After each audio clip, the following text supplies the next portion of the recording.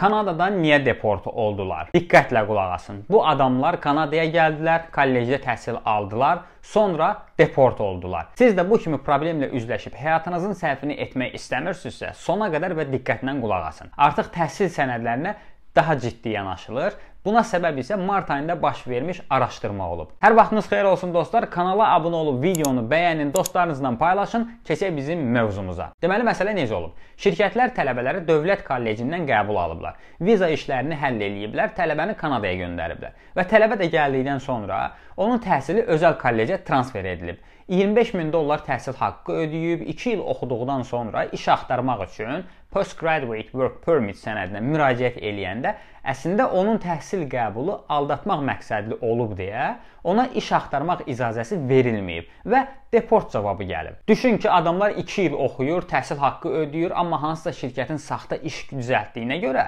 2 ildən sonra deport olub öz ölkəsinə qayıdır. Buna səbəb ən başda deyim nədir? Tələbənin məlumat azlığı. İkinci səbəb isə şirkətlərin hər bir tələbə üçün fərdi yanaşmayıb düzgün letter of explanation sənədi yazmamağıdır. Bu məsələni hər dəfə deyirəm.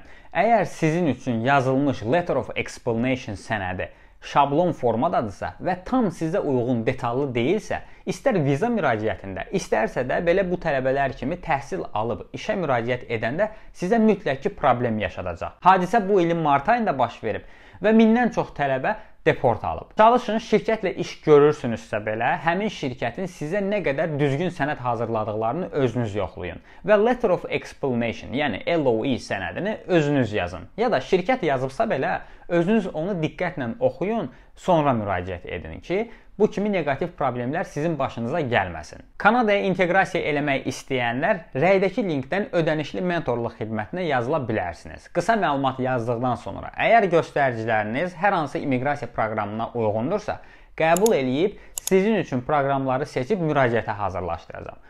Unutmayın, Kanada barədə ən dəqiq və rəsmi məlumatları mən paylaşıram. Uğurlar!